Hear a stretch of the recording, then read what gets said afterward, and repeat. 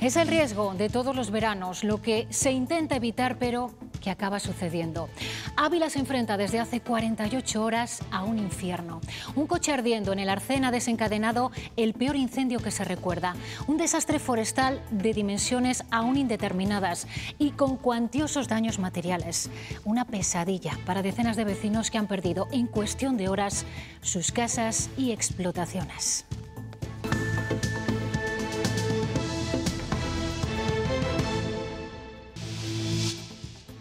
Una impotencia, preparar el coche por si hay que salir corriendo. Muy mal, muy mal. Mucha angustia, porque vemos que nos, nos acometen las, las llamas, o sea que están aquí al lado. La sierra incendiada, el lugar de trabajo de nuestras familias, nuestro ganado, nuestra forma de vivir, pues al final eh, da mucho miedo perderlo todo de golpe. Complicadísimas las horas que está viviendo la provincia de Ávila. El incendio de Navalacruz lleva dos días activo y en nivel 2. Los equipos de extinción han logrado durante la noche evitar que la cabeza del fuego avanzara sin control hacia el barraco, pero la lucha sigue en la vertiente sur. De madrugada la vista desde la muralla era dantesca. No hay descanso para los brigadistas que reponen fuerzas en el Palacio de Congresos de la ciudad, convertido en centro de operaciones. Hola, ¿cómo están? Pendientes, muy pendientes de ese incendio que tiene en vilo a la provincia de Ávila y al resto de la comunidad. Mil efectivos trabajan ahora mismo en la zona. Se han sumado medios de Galicia, Madrid, Extremadura y Castilla-La Mancha. Es inminente también la llegada del presidente de la Junta. Ana Agustín, son horas clave. Así es, son horas clave, 40 kilómetros de extensión, más de 13.000 hectáreas devoradas por el fuego, son los datos que se barajan en este momento. La novedad, el cambio de viento que hace que ahora las llamas se precipiten hacia la vertiente sur de la sierra, amenazando numerosos pueblos. Como dices, el presidente de la Junta de Castilla y León, Alfonso Fernández Mañueco, tiene previsto estar aquí dentro de unos minutos para conocer el alcance de este pavoroso incendio. Que podríamos considerar en el día de hoy alcanzar la estabilización. ¿Qué es la estabilización de un incendio? Un incendio se estabiliza cuando eh, ya no hay llama, es decir, no progresa en su perímetro, queda estabilizado el perímetro, queda perimetrado. Explotaciones como esta en León prefieren seguir produciendo maíz y no rotar de cultivo, aunque esto les suponga perder ayudas. El borrador de la PAC supedita el 25% de las ayudas a nueve prácticas medioambientales.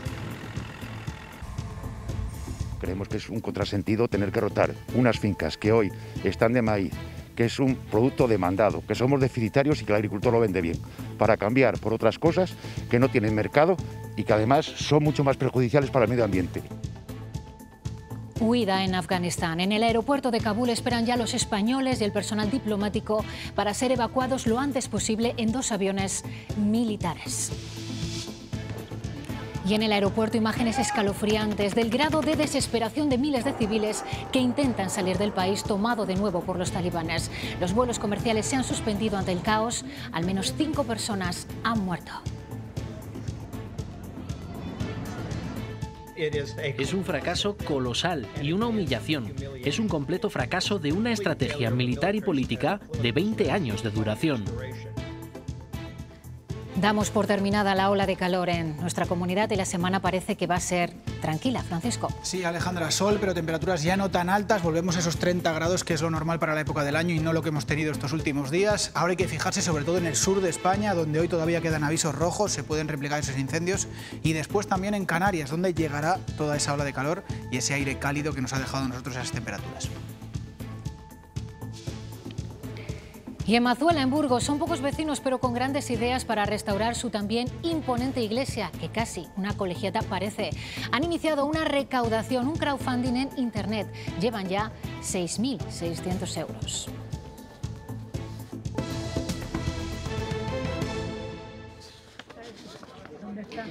Ávila se asomaba anoche desde la muralla una imagen casi infernal. Era el resplandor de las llamas del incendio de Navalacruz, visibles a 60 kilómetros de distancia. Detrás de esa cortina incandescente, cientos de efectivos trabajando sin descanso, a los que los vecinos recibían con este aplauso de ánimo y agradecimiento.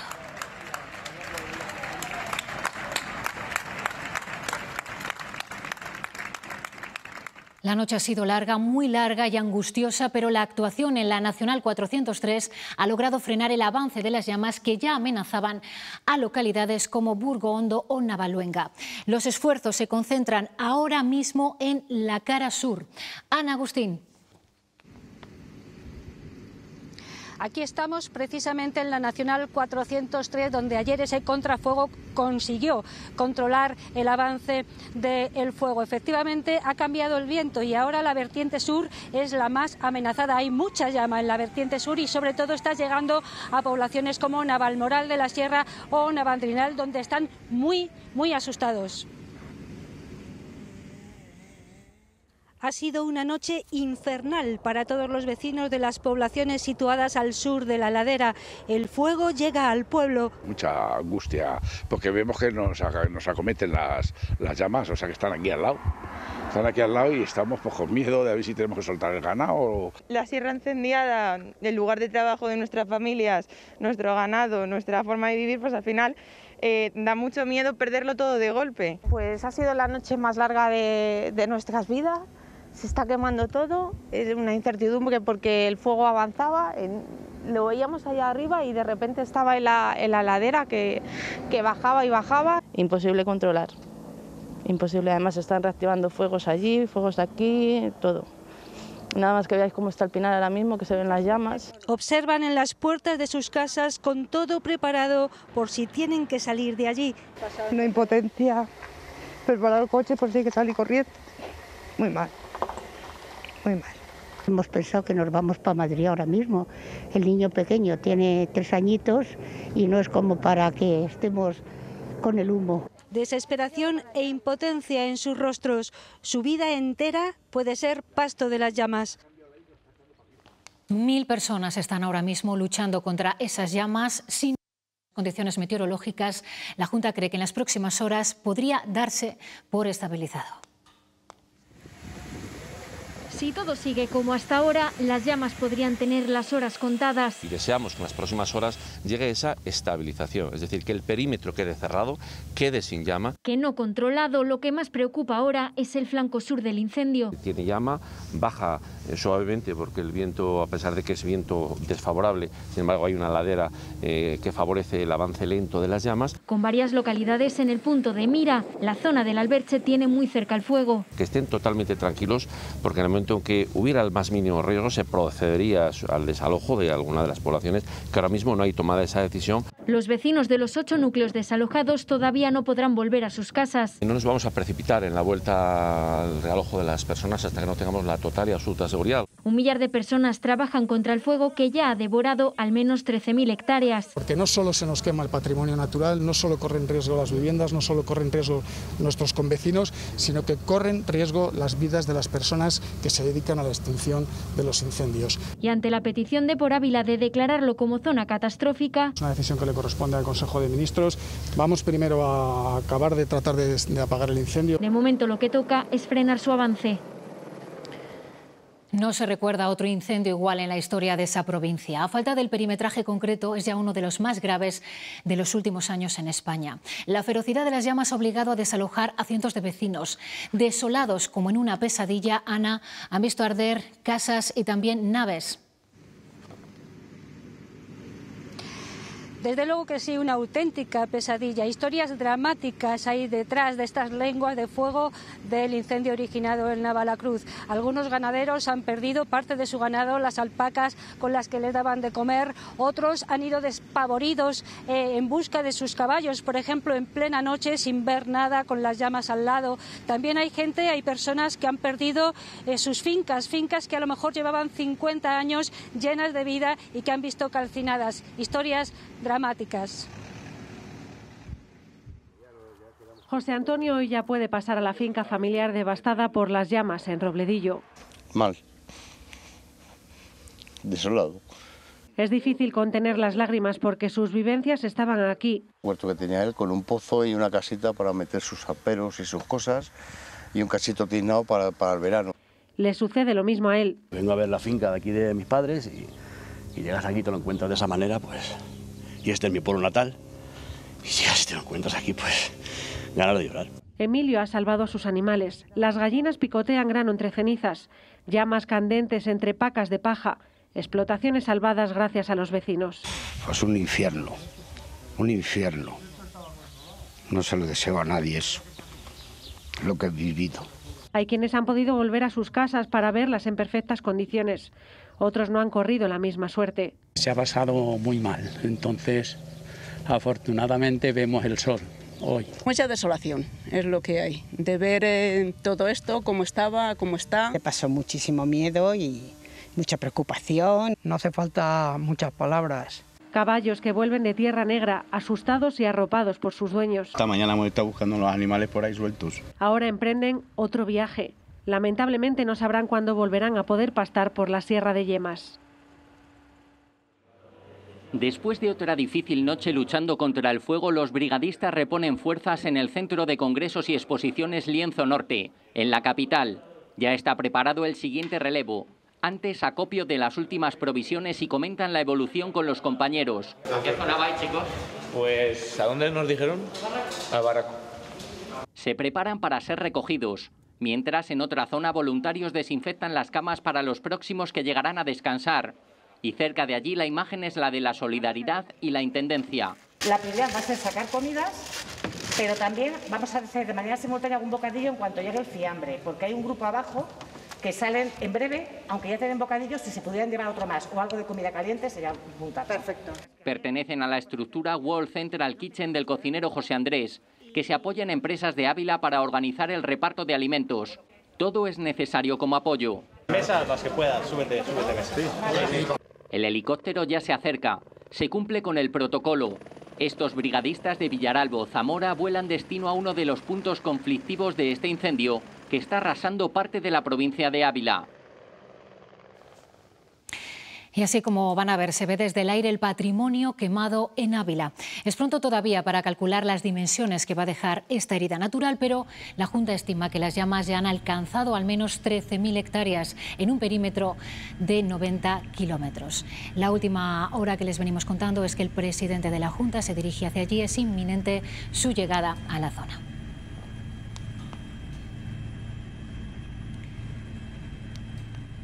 Y así se veía el incendio desde el espacio. Imágenes de varios satélites donde se puede contemplar cómo se formaba una gran mancha brillante, mucho más grande que la que proyectaban las luces de la capital abulense, y cómo el humo llegaba hasta el norte de Madrid. El incendio en la provincia de Ávila ha dejado imágenes desoladoras que muchos han colgado en las redes sociales desde diferentes puntos de la provincia. El pico de la cedrera. Es horroroso muestran cómo han trabajado durante la noche sin descanso. ¡No, no avances! ¡No avances hasta que apagues aquí! Intentando apagar las llamas o haciendo cortafuegos. En las redes sociales también hemos visto vídeos donde aparece la predisposición de los vecinos para ayudar y acabar con este incendio. Navalacruz es la localidad del exportero Iker Casillas, quien ha compartido en sus redes sociales imágenes donde se ven a los caballos alejándose del fuego. Aunque no solo caballos, han tenido que ser evacuadas algunas ganaderías que estaban cerca de la zona. Este fuego también se ha visto desde el centro de Madrid, como vemos en estas imágenes. Mientras tanto, siguen las labores para acabar cuanto antes con este incendio.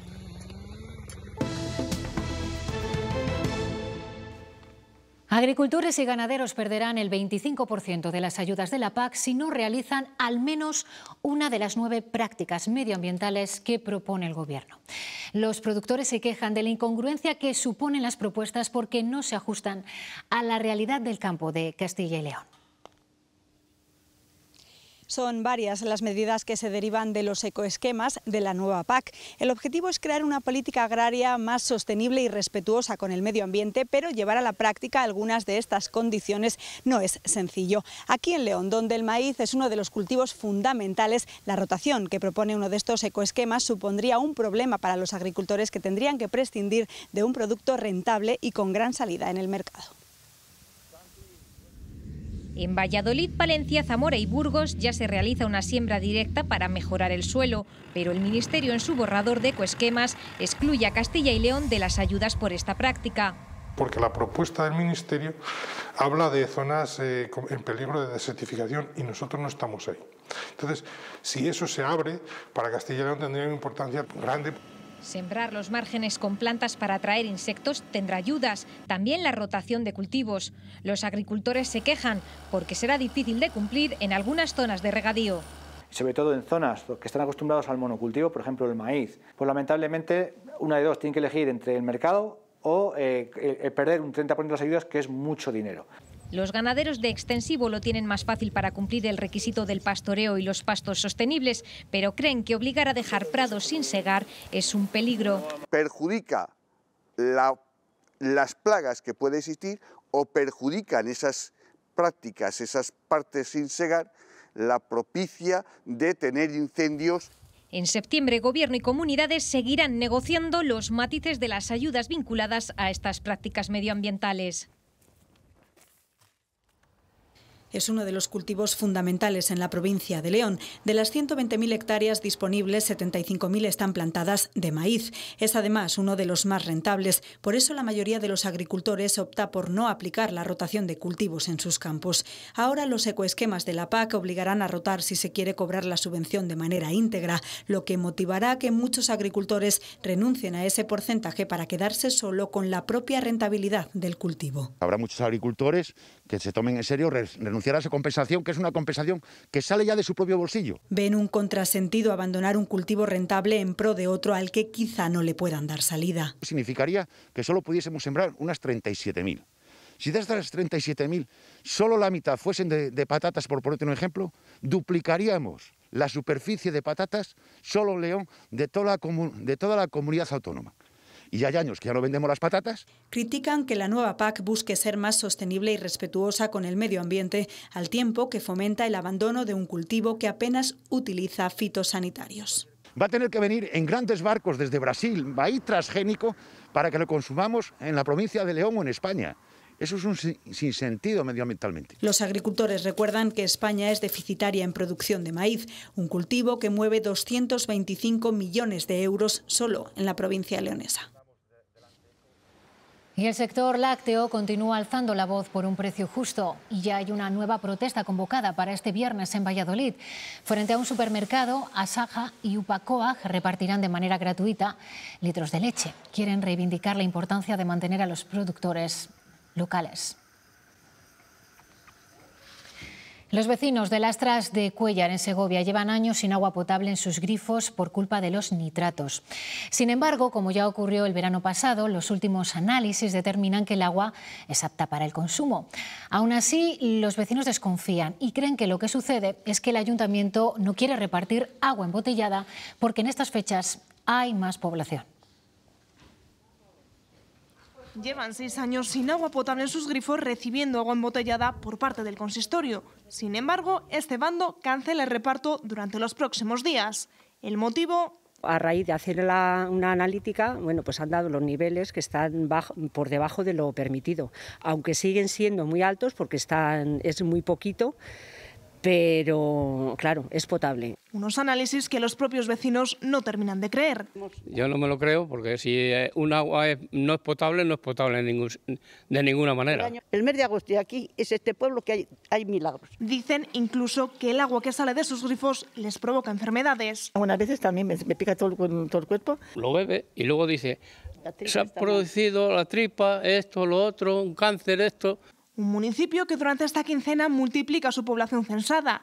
Los más desconfiados achacan esta mayor población al no reparto del agua embotellada. Es que hay más gente en el pueblo y como económicamente es un pueblo que tampoco tiene muchos ingresos, pues a lo mejor también aprovechando eso pues se hace. El termómetro de eso dice que sube y baja, según el gasto o según no sé qué. De momento lo único que parece claro es que para poder beber un vaso de agua como este, con total seguridad, habrá que esperar a finales de año cuando las obras en el manantial finalicen y el agua potable sea una realidad durante todo el año.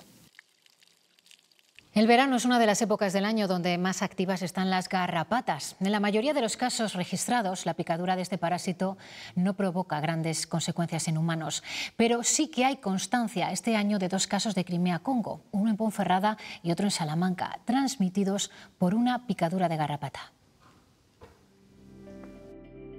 En el campo y en las zonas donde haya vegetación es donde se ubica este parásito. Se encuentran por todos los sitios donde pasen animales o por donde haya animales. Pero ¿qué debemos hacer si nos ha picado una garrapata? El primer paso, aseguran los expertos, es retirar el parásito si la persona afectada tiene experiencia. Si no, hay que acudir a un centro sanitario. Hay que desinfectar la zona donde estaba la garrapata. Y un tercer punto también es hay que vigilar los síntomas. Es muy importante que vigilemos pues eso, las axilas, las ingles, eh, todo lo, donde tengamos las rodillas. El problema de las picaduras son las enfermedades que pueden transmitir. La más común es la enfermedad de Lyme. Provoca en las personas como una un malestar general, fiebre, inflamación de articulaciones. Aunque también se pueden desarrollar patologías más graves como la crimea del Congo. Existe, pero no es la más común y por lo menos en nuestra área tampoco está descrita de que haya casos por lo menos en los últimos años. En los animales también producen enfermedades que pueden llegar a ser mortales. Aquí en Soria hay una enfermedad que se llama babesiosis, que es un parásito sanguíneo. La prevención y la observación son los mejores enemigos de este parásito veraniego. Y a las puertas de terminar esta ola de calor histórica, hacemos balance de los muchos récords que se han batido en nuestro país y en nuestra comunidad. Francisco. Sí, Alejandra, ola de calor histórica que ha durado cinco días en Castilla y León. Hoy termina se desplaza hacia el sur de España y sobre todo hacia Canarias. Lo peor fue el sábado donde 230 estaciones de la Agencia Estatal de Meteorología estuvieron por encima de los 40 grados durante la tarde, 26 de las cuales estuvieron por encima de los 45 grados. En Montoro, en Córdoba, se ha registrado el dato más alto de la historia de España desde que hay registros, 47,4 al final ha quedado y los récords en Castilla y León han sido sobre todo en Ávila, en Segovia y en Soria, tres capitales de provincia donde también se rozaron los 40 grados, 18 capitales de provincia en total en todo nuestro país eh, tuvieron las temperaturas más altas jamás registradas por la Agencia Estatal de Meteorología.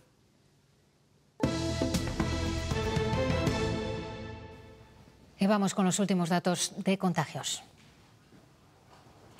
Hoy se han registrado 285 nuevos positivos, son 82 menos que hace una semana. El número de fallecidos sube con respecto a ayer, son siete personas, tres más que en la jornada del domingo.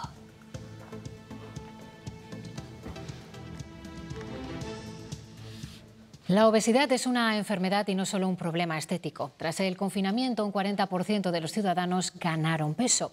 Ahora conocemos también que el sobrepeso es un factor de riesgo para el coronavirus. El 80% de los pacientes con enfermedad grave por COVID tienen obesidad. Hay un factor de riesgo para cualquier enfermedad, la obesidad. El paciente obeso es un paciente que siempre tiene una inflamación latente, inflamación crónica, digamos que le debilita ante cualquier infección. Un estudio de la Sociedad Española de Obesidad indica que los obesos tienen más posibilidad de enfermar grave. Le sucede a 8 de cada 10. Tienen más posibilidad de ingresar en una UCI. Entonces es un paciente que se infecta de manera más grave y que puede tener más secuelas. Y esto pasa independientemente de la edad. La infección, obviamente, a personas de, edad más joven, eh, porque los mayores están vacunados, también se ve de una forma muy directa que los sujetos que tenemos en UCI o los sujetos que ingresan son sujetos que no tienen un peso sano. Ahora investigan también si afecta a la inmunización que los sujetos obesos tienen una peor respuesta a la vacuna, se inmunizan menos. Eso ya lo sabíamos con la vacuna de la, de la gripe y con otras vacunas. El estudio refleja otro dato preocupante. El 44% de los españoles ganó peso durante el confinamiento. Por segundo año consecutivo, los mayores podrían quedarse sin vacaciones del inserso. El año pasado fue por la pandemia. Este año el problema está en la discrepancia entre los hosteleros y el Gobierno por el precio de este programa. Los hosteleros han denunciado las condiciones económicas del programa Vacaciones del Imserso. Aseguran que los precios no están actualizados y que con las condiciones actuales muchos hoteles podrían incluso llegar a perder dinero. En estos momentos el Gobierno paga 23 euros por plaza y los hosteleros dicen que no es viable por debajo de los 27 euros por plaza. Posiblemente el asunto no se resuelva hasta mediados del mes de septiembre, por lo que las vacaciones de 800.000 mayores están en estos momentos en el aire.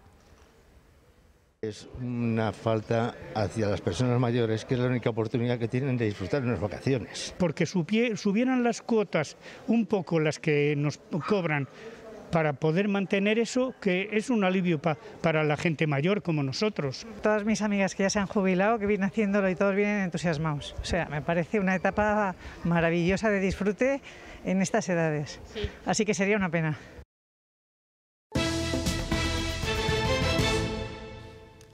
En medio de la controversia política generada incluso dentro del propio Ejecutivo, el ministro del Interior defiende la repatriación de menores a Ceuta.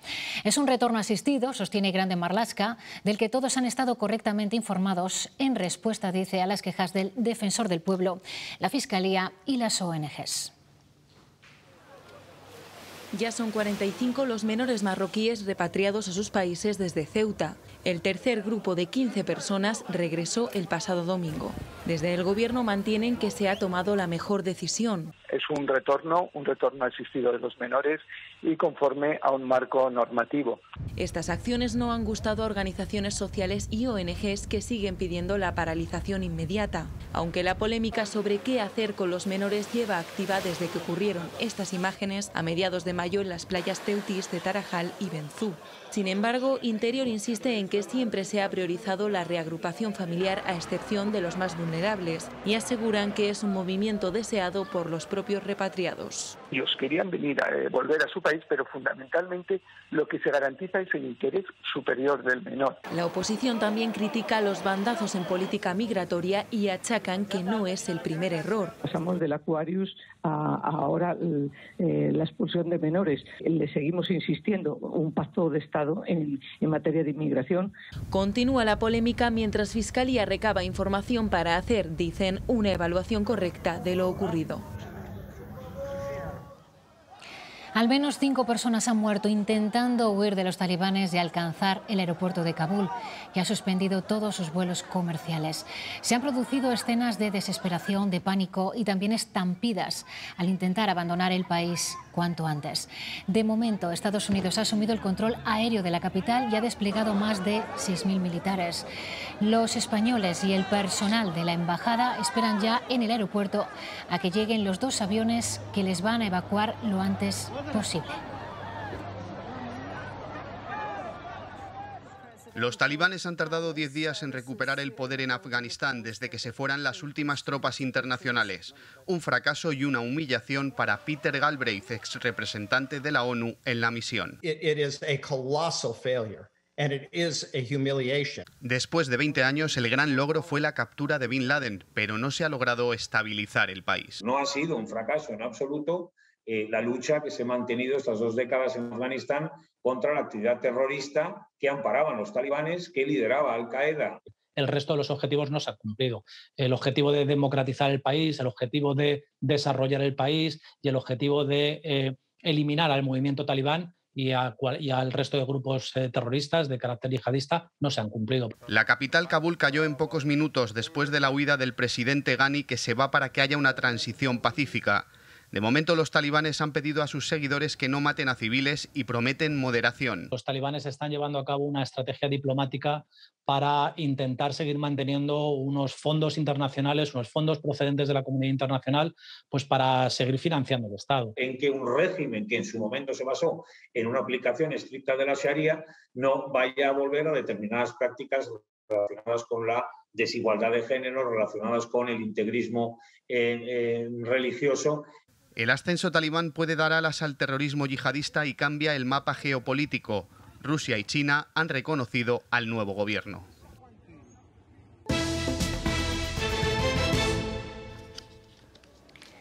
Salamanca durante estos días vuelve a ser uno de los epicentros de la alfarería, con la celebración de la Feria del Barro. En los puestos instalados en la Plaza de Anaya se puede encontrar prácticamente de todo en materia de artesanía. Piezas tradicionales, pero también vanguardistas, que demuestran así que ese sector apuesta por modernizarse y por la innovación. Los habitantes de la localidad burgalesa de Mazuela han iniciado una campaña de crowdfunding con la que quieren recaudar 10.000 euros para rehabilitar su iglesia. Entre las recompensas ofrecen visitas guiadas, actos religiosos en el templo y hasta dos horas de reflexión en una tumba. Una iglesia de estas dimensiones no se encuentra en cualquier municipio y menos en uno con solo 50 habitantes censados. Ha unido a grandes acontecimientos familiares, bodas, bautizos. 50 vecinos unidos por un templo que necesita demasiada atención y demasiado dinero. El último arreglo que se, que se tenía que hacer, porque ya tenía problemas de derrumbe y eso puede causar eh, peligro de muerte, evidentemente, era la, la, bóveda que subía al coro. Entonces lo que ocurre es que tenemos que seguir buscando financiación para, para acometer esos gastos. Para ello han iniciado una campaña de micromecenazgo con la que sueñan recaudar 10.000 euros. De momento han conseguido 6.700 gracias a las aportaciones de personas de dentro y fuera de la provincia, de comunidades como Asturias o Madrid. Te anima mucho a seguir trabajando, a seguir eh, predicando la palabra como recompensa, estos hijos de Mazuela ofrecen visitas guiadas a la iglesia, toques de campanas dedicados y hasta jornadas de reflexión en una tumba. Puedes estar durante el tiempo que, que tú quieras en, en, una tumba acabada al, al, efecto para que podamos reflexionar sobre la fugacidad de la vida, cómo el tiempo pasa. Todo para conseguir los 10.000 euros que necesitan para mantener su obra más valiosa en pie. Las primeras prospecciones en el yacimiento de las Paredejas en Medinilla están arrojando resultados sorprendentes, como cerámicas de importación que mostrarían la importancia comercial de este punto en la vía de la Plata, o estas pinzas de depilar, que nos demuestran que no somos tan diferentes a los antiguos habitantes de este yacimiento. Pequeño pueblo palentino al escenario del Teatro Real con Vetusta Morla. Hablamos del grupo El Nan. Trabajan y viven en Tabanera de Cerrato y desde allí estudian la tradición ibérica buscando un sonido diferente que ha llamado la atención de uno de los mejores grupos de nuestro país. Su nuevo disco se presenta este sábado en las noches en San Benito de Valladolid. Hoy toca plantar romero, pero unidos han sembrado otras variedades. La anterior fue Germinal, la que creció como último disco del Naan en tiempo de pausa en confinamiento. En ese tiempo que creativamente te permite más silencio, más tiempo, cocinar las cosas a fuego lento, más reflexivamente. Y esas canciones hechas a fuego lento se grabaron con la participación de grandes artistas. No hemos buscado a ningún artista para que nos dé resonancia en su mundo ni nada, sino simplemente una canción, decir, esta canción creo que le va muy bien a la voz de Xavier o creo que este tema Santiago Userón creo que conectaría con él. Y otro de los grandes, Vetusta Amor, utilizó esta canción del Naan como base para su single Finisterre. Es una canción nuestra, aunque también muchas veces nos llega el feedback de que es tradicional, porque intenta tener esa esencia tradicional y, por lo visto lo consigue, pues mucha gente piensa que es tradicional. Y esa colaboración culminó con la actuación del grupo palentino en el Teatro Real. Y fue un momento, la verdad, espectacular para nosotros emocionante estar en ese templo de la música.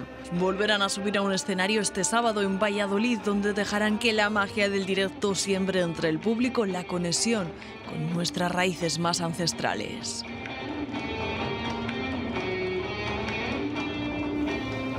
Es todo. Ahora los deportes. Nos vemos a las ocho y media. Que disfruten de esta tarde festiva. Adiós.